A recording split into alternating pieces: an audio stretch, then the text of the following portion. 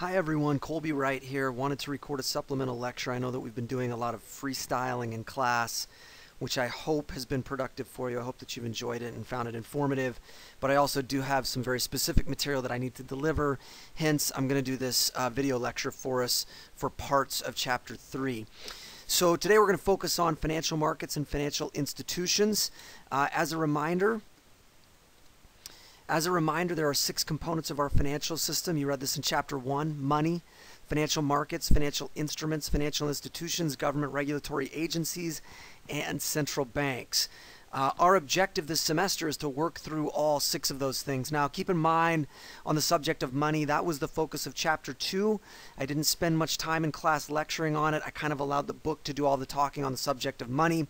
But I do want to talk about financial markets, financial instruments, institutions, and government regulatory agencies and central banks. And we're beginning those discussions both in class and through this video.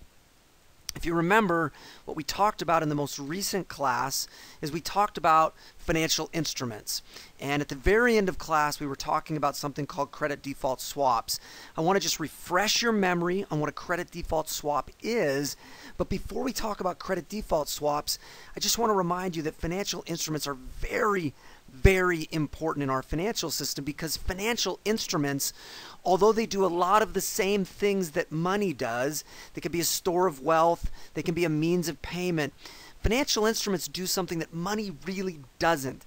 Financial instruments allow people to transfer risk, and that's really important because the ability to transfer risk changes human behavior. And this goes all the way back to the first lecture that we had where we thought about the importance of specialization and exchange. We thought about how hard it would be to specialize and exchange if you didn't have the six components of our financial system. And you might remember we did a thought experiment. What if you lived on a farm in the early 1800s? There wasn't much specialization and exchange. Uh, you had to do a lot of the labor, provide for a lot of your own necessities. What if you wanted to actually take that leap and try to specialize in exchange. So, what if you were just going to grow corn? And you remember we had a really long conversation about all of the risks you would face and how financial instruments, financial markets, money, all of these elements of the financial system would make it possible for you to mitigate the risks that would otherwise prevent you from specializing and exchanging. Just as one example, one of the risks you would face is the perishable nature of your assets because most of your wealth would be in the form of corn, and that's problematic. However, if you introduce money, now you can transform your perishable assets into more durable assets in the form of money. And so all of those elements of the financial system really are necessary, but financial instruments in particular are the primary way that we transfer risk from ourselves to other people. And again, being able to transfer risks being able to transfer risks allows us to change human behavior. So I wanted to remind you about credit default swaps. So here's the idea of a credit default swap, just the very basics. Imagine that you have an investor who buys a million dollars worth of Ford bonds, and those bonds are yielding 3.79%. But imagine that that investor wants some protection against default. For whatever reason, the investor is worried that there might be default on these bonds. So he goes out and buys a CDS contract from Deutsche Bank. So that means the investor is now the buyer of the credit default swap and Deutsche Bank is the seller of the credit default swap. Well, one of the problems with credit default swaps is they are very, very, very non-standard. So they're, they're mostly customized for the specific transaction. So, and th this is all hypothetical. Everything I'm showing you right now is hypothetical. But imagine that the terms on this CD contract are five years. The notional amount is $1 million. It requires quarterly premium payments from the buyer to the seller. The annual premium is 100 basis points. The default event in the contract is a missed interest payment and settlement is going to be cash as opposed to physical settlement. So imagine that these are the basics of your credit default swap. So what does that mean?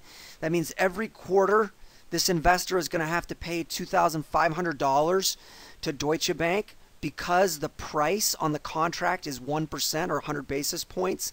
The notional amount is a million dollars. 1% of a million dollars is $10,000. So every quarter, we're going to have to pay $2,500 to the seller of the credit default swap. But what if there is a default? What if Ford misses an interest payment? Well, this is cash settlement. So what's going to happen is Deutsche Bank's going to have to make the investor whole by calculating the difference between the notional amount, which is a million dollars, and the market value of the bonds after the default. So if the bonds drop to $750,000 in market value, then Deutsche Bank's going to have to send $250,000 over to the investor. So this is the basic uh, the basic idea of credit default swaps. But remember, we talked about the fact in class that there were some unique features around credit default swaps. First off, you don't have to have any affiliation with Ford in order to get in the game. So you don't have to own a Ford bond to go and buy or sell a credit default swap. Also, anybody who buys or sells credit default swaps can turn around and take the opposite side. So, for instance, in our hypothetical example, if Deutsche Bank sold a credit default swap at 100 basis points, what if the price drops after that? Deutsche Bank could turn around and buy a, a, credit default swap on Ford Motor Company bonds, and maybe now the price is only 90 basis points. And then this person who sold the credit default swap to Deutsche Bank at 90 basis points could turn around and they could also buy a credit default swap. And, and this is sort of what happened during the crisis. Imagine that Ford Motor Company starts to experience distress. Now default looks more probable. So now let's say that the uh, price to insure, which is what a credit default swap is, it's an insurance contract. Well, if the likelihood of default for Ford Motor Company increases, then you're going to see the price on the insurance product skyrocket. So maybe this entity now goes and buys from somebody else at 200 basis points. Now, you might be asking yourselves, why would you do that? Because here's how that plays out. We already know that in the original contract, that means there's a $10,000 annual premium. But if this contract also gets signed, that means Deutsche Bank is sending $9,000 to this seller. And over here, now this person is sending $20,000 over to this seller. But why would this entity do that? You can see why Deutsche Bank would do that. Deutsche Bank is getting a spread now. Deutsche Bank's earning 10,000 and only having to pay 9,000, but what in the world is this entity doing receiving 9,000 and only paying 20,000 or sorry, receiving 9,000 and having to pay 20,000? Well, if you truly believe that default is imminent, you might want to do that because you're hedging your loss given default because now if the Ford Motor Company bond defaults, it's going to be this person who has to make this ultimate buyer of the credit default swap whole. So this person is willing to accept some losses in the annual premium payments to avoid having to make the big payment. And, and this is what happened. We created a massive web in the credit default swap market. And one of the problems was there was a lot of uh, opaqueness in the market. We didn't know who these entities were. And then when the dust settled, we found out that it was companies like AIG who were actually on the hook.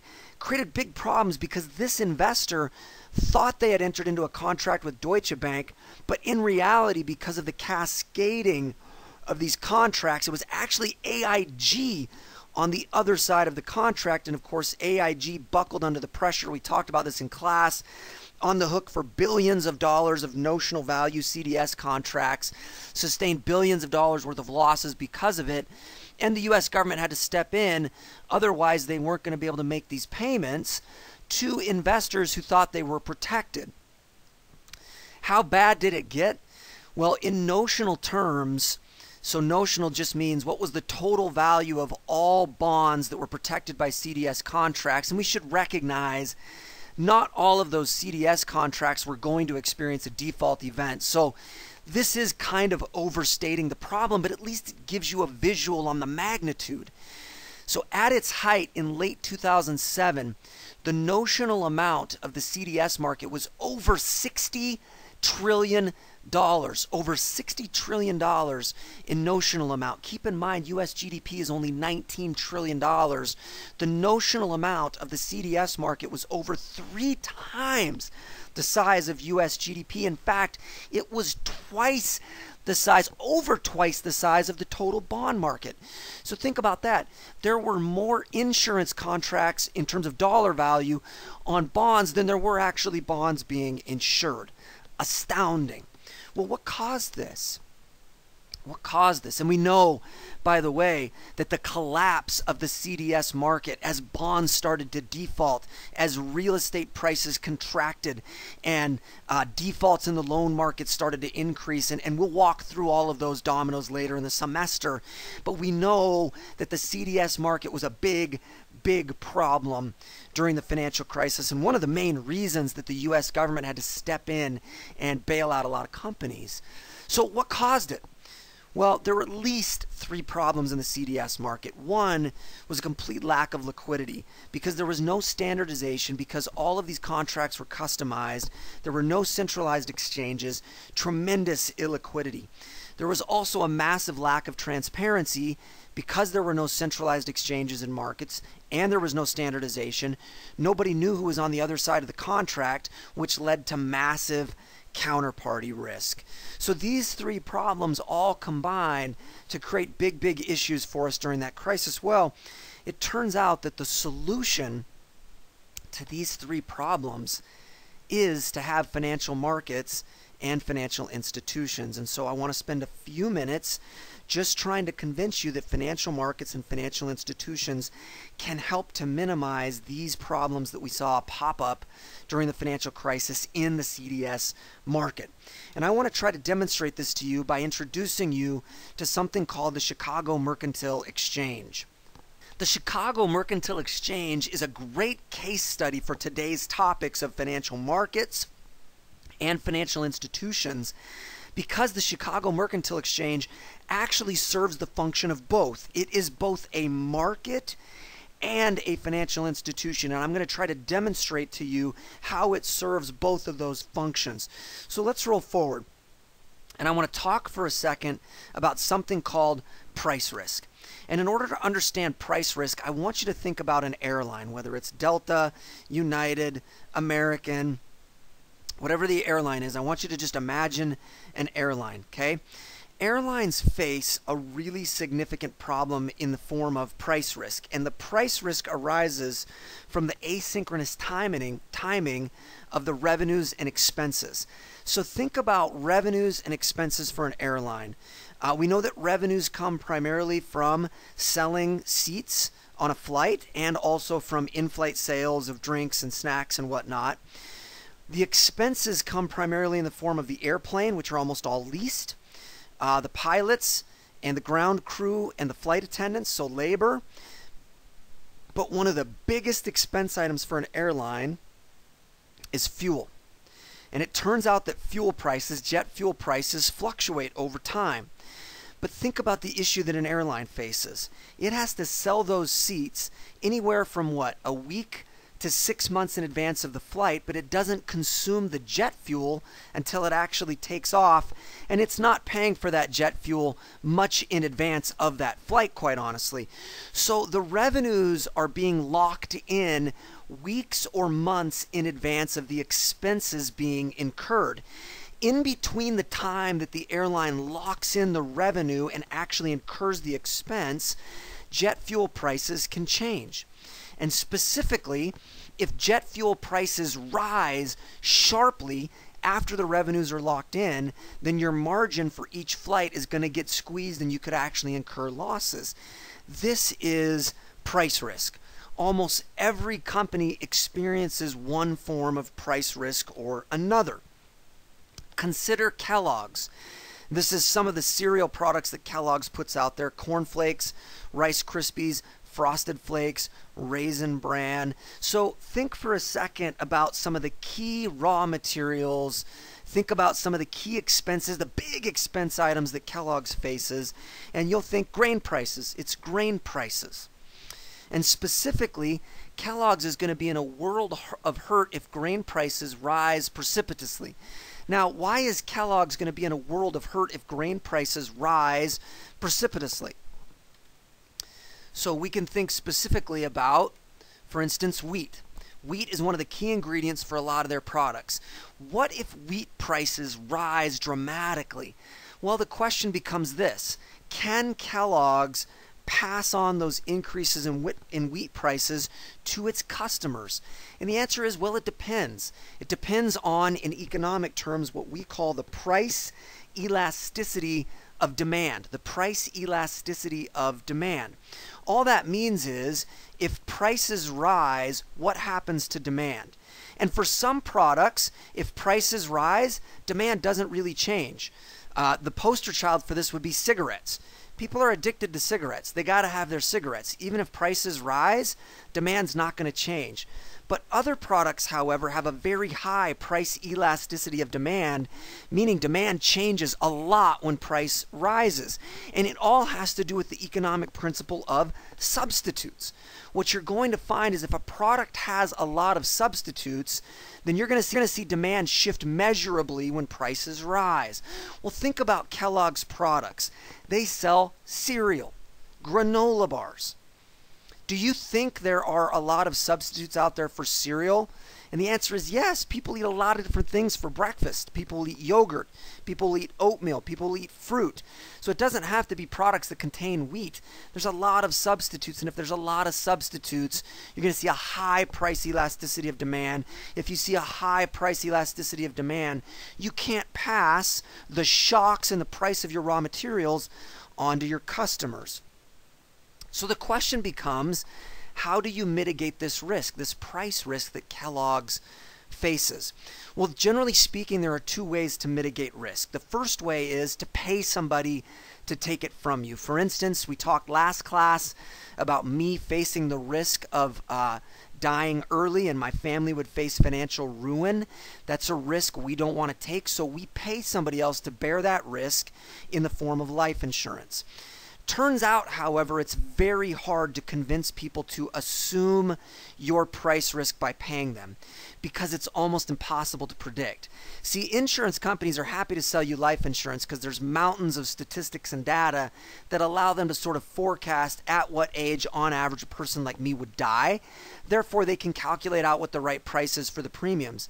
But when it comes to price risk, there are no good models, there are no good statistics. There are no good data sets that are going to help a company predict when grain prices are going to go up or go down. So there's almost no entities out there that are willing to to uh, to take your risk in the form of payment. So if you can't do that, the other way to mitigate risk is by swapping it with somebody for a different risk. Let me try to demonstrate what I mean. Think of it this way. Kellogg's faces two, two possibilities with prices. Wheat prices might rise, and if wheat prices rise, Kellogg's is not going to be very happy about that. However, if wheat prices fall, Kellogg's will think that's fantastic because their margins are going to get bigger. They'll just keep their cereal prices constant, but their raw material prices will go down. Well, the question becomes is there any entity out there that views wheat prices differently? Is there any entity out there that would be happy if wheat prices rise and disappointed if wheat prices fall? And if so, maybe there is the potential for Kellogg's to enter into a partnership. And hopefully, you can see that if Kellogg's can find that entity and enter into a partnership, then collectively the partnership would have neutralized the price risk of wheat. Well, I think you've probably already realized it's obvious who would feel good if wheat prices rose and who would be upset if wheat prices fall, and the answer is the wheat farmer. The wheat farmer would love it if wheat prices would rise because wheat farmers, just like airlines, face an asynchronous timing problem. They incur most of their expenses in the spring and the summer, buying the seed, the fertilizer, the fuel for the trucks, but they don't get their revenues until the fall. Same problem you might incur all these expenses, lock in the expenses, and then the revenues actually fluctuate, and you can have losses just because of fluctuations in the market prices of your product. So, Kellogg's and the wheat farmer, farmer have the potential to enter into a partnership, and that partnership jointly can neutralize price risk. But, so there's the partnership, the potential partnership between the farmer and Kellogg's. You can decide which one is the farmer and which one is Kellogg's. But the question becomes how do they find each other? Should Kellogg's go knocking on doors in Nebraska? Should they look online and see if they can locate farmers in Iowa and start cold calling them? It turns out this question right here is exactly why you need a market. So behold the Chicago Mercantile Exchange. The Chicago Mercantile Exchange is both a market and a financial institution. This is a place that brings together buyers and sellers. Now, I want to introduce you to a specific product that is traded on the Chicago Mercantile Exchange. It's called Wheat Futures Contracts. Here's how a wheat futures contract works somebody enters on the buy side, somebody enters on the sell side. It is an agreement. It is an agreement to be executed in the future at a price agreed upon today. Let me say that again. A futures contract is an agreement to execute a transaction in the future at a price agreed upon today. Turns out that with the futures contract at the Chicago Mercantile Exchange, one contract represents 5,000 bushels. It's quoted in cents per bushel, and the tick is a quarter of a cent. Uh, so then let me show you what else. So there's all these contracts. So you can see, for instance, there is a December 2018 wheat futures contract at 5:30 and two and uh, two quarters, right? Yep, at 5:30 and two quarters. So what does that mean? One contract represents 5,000 bushels. That means somebody's going to buy 5,000 bushels of wheat and somebody's going to sell 5,000 bushels of wheat. The agreed upon price is $5.30 and two fourths of a cent, so one half. So $5.30 and one half cent per bushel, but again, 5,000 bushels. So what does that mean? Whoever's the buyer is going to buy 5,000 bushels at approximately $5.30 a bushel. Whoever is selling is going to sell 5,000 bushels at approximately $5.30 per bushel. And this is going to take place in December of 2018. So, do you see the beauty of this? Kellogg's and the farmer can link arms by entering into a futures contract to agree to buy and sell a certain amount of wheat a full year out from where we are right now. That's what we're talking about in terms of a wheat futures contract. And the Chicago Mercantile Exchange is the house where all of the trading takes place for wheat futures contracts. So if you're Kellogg's and you want to find a farmer, you go to the Merc. If you're a farmer and you want to find somebody like Kellogg's, you go to the Merc. Saves a ton of time for us. But there's another problem that pops up. What about counterparty risk? There is the possibility that if there wasn't something like the Chicago Mercantile Exchange, a farmer might enter into a futures contract with somebody, and the farmer's excited. The farmer's locked in the price, $5.30 a bushel, and I'm going to sell this wheat six months or a year out, but at least I know what the price is going to be so I can manage my budget. I can incur my expenses. I can preserve my margins. But then what if, what if a farmer enters into a futures contract in April? To sell wheat in September at $5.30 a bushel. And then September rolls around and wheat prices have dropped precipitously. What if the spot price, meaning the prevailing market price, in September is now $4 a bushel. Well, the farmer is thinking, oh man, I'm so glad I entered into that futures contract because I get to sell it at $5.30. But what if the farmer goes to the counterparty and says, hey, I've got your wheat. We agreed on $5.30. And what if the counterparty says, I never agreed to that? I'm not going to buy your wheat at $5.30. I'll buy it at $4 a bushel because that's the prevailing market price. Well, you can imagine how upset the farmer would be, and that used to happen, but it doesn't happen when you're trading on the Chicago Mercantile Exchange, and here is why. Let's read. This is directly from the Merc website. CME Clearing serves as the counterparty to every cleared transaction, becoming the buyer to each seller and the seller to each buyer, limiting credit risk by guaranteeing financial performance of both parties.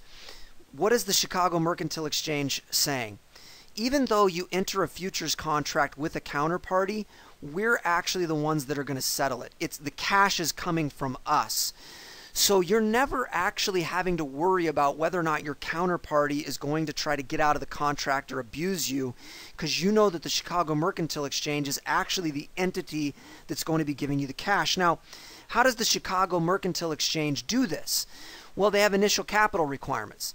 You cannot be a buyer or seller of futures on the Merc unless you put up a significant amount of initial capital with the Chicago Mercantile Exchange. They also have what are called maintenance margin requirements. You have to keep a cash balance there that's adequate in their eyes in order for you to actually meet your obligations. They also have collateral requirements. Now, look, I don't want to get into the weeds on that. Here's the layman's terms. The Chicago Mercantile is actually your trading partner in all transactions. It strictly monitors all parties trading on the CME and requires them to have adequate cash and assets at all time so that if you enter if you're the farmer and you enter into a futures contract with Kellogg's, the CME is going to make sure that you get made whole in that transaction. So, what are the benefits of this? Well, think about that. You don't have to worry about counterparty risk. If you trade on the Chicago Mercantile Exchange, you do not have to worry about counterparty risk.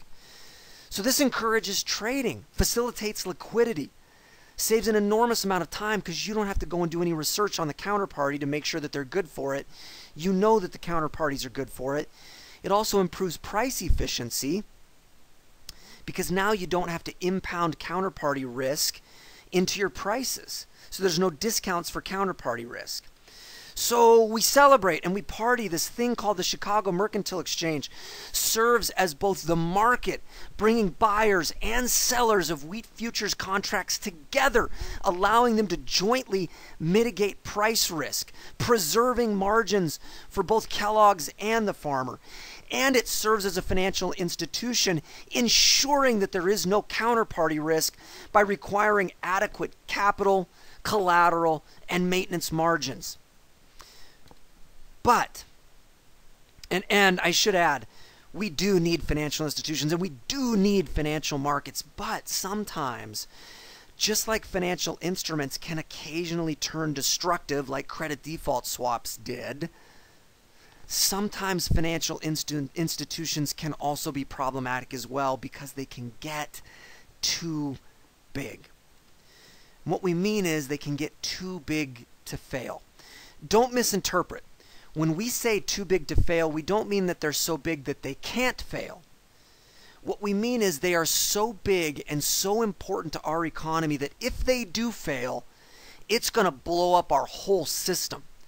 So, as a country, sometimes companies get so big that we can't let them fail and then we end up having to bail them out just like we did with AIG and this is very costly. This is very costly, but why? Why is it that companies get too big to fail? Well, it turns out that in capitalism there is always an incentive to get big. So I've entitled this slide Go Big or Go Home and why is that? There is so much competition in capitalism that typically the bigger companies win. And why is it? It's because they can capture the economies of scale. They can get the cost savings from producing more and more of the good or the service. They can capture economies of scope, sharing technologies and synergies across products and divisions. Also, if they get big enough, they can decrease competition. Most people would say Walmart's been doing this for years. They've gotten so big that they're kind of snuffing out all of the competition, which gives you more market and more pricing power. So the bottom line is capitalism is always going to incentivize companies to get as big as they can to capture and reap all of these benefits. Let me just give you some data to try to corroborate this. I want you to look in 1995 this was the allocation of all deposits across banks in the U.S. And you can see that about 32% of deposits were in large banks, 1% in large credit unions, 26% in medium banks, 1% in medium credit unions, 28% in small banks, 7% in giant banks, 6% in small credit unions. Pretty evenly distributed across large banks, medium banks, and small banks. Here's what it looks like in 2014.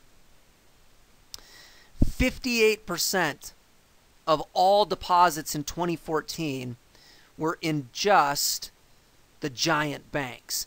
In fact, if I remember right, 40% of all deposits were in just these four banks Bank of America, Wells Fargo, JP Morgan, and Citigroup.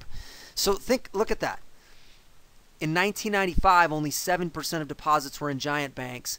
Now 58% of all deposits are in giant banks. Look, this just corroborates the statement that in capitalism, companies have incentives to get big, but if we're not careful, they're going to get so big that if they fail, it will blow up our whole system, and then we got to bail them out. Well, what do you do? I see only three options. You can do nothing.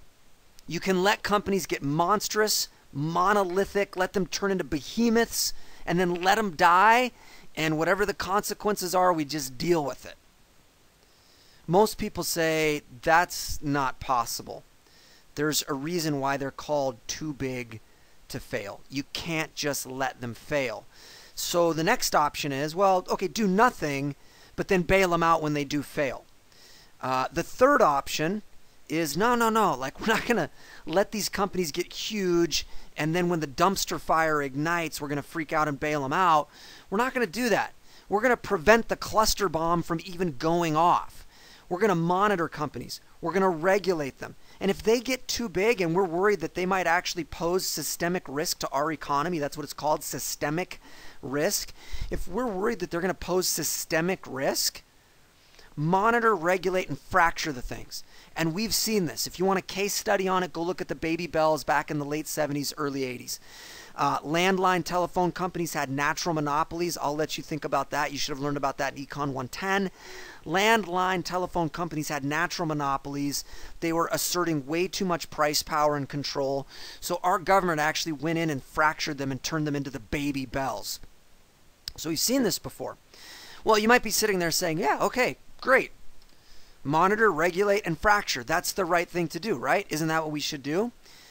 Well, it's not so clear. Because it turns out that monitoring, regulating, and fracturing actually costs a lot of money. It takes taxpayer dollars to hire the people, have the agencies, have oversight, and it, and it takes money to fight the lawsuits when companies try to take you to court over it. And then here's the really sad part you may not even successfully prevent the companies from becoming too big to fail. In fact, Stephen Colbert has a very funny video out there if you can find it. I have not been able to find it lately. But Stephen Colbert has a very funny video where he walks you through the history of AT&T and he shows how in the late 70s and early 80s it got fractured. We monitored, we regulated, we fractured, we broke it up into the baby bells. And then over time, it reconstituted. And literally, it came all the way back together by 2007. So if you can find that video, go check it out. But think about that. If that's what happens, if we're going to monitor, regulate, fracture, we're going to incur all of those costs, hiring all of those regulators and monitorers and overseers. We're going to spend all that money. And then in the end, we're still going to have companies that are too big to fail this poses a big problem for us. And I can tell you, one of the issues we have wrestled with a lot coming out of the crisis is how do we deal with the issue of too big to fail? We'll have a little bit more to say about it later in the semester, but just as a teaser, Dodd Frank, the Dodd Frank Act of 2010, which was our reaction to the financial crisis of 2008, the Dodd Frank Act of 2010 is primarily concerned with this issue of preventing companies from becoming too big to fail and then trying to allow for a soft landing if one of those companies does fail. Well, that's it for now. I will see you in class.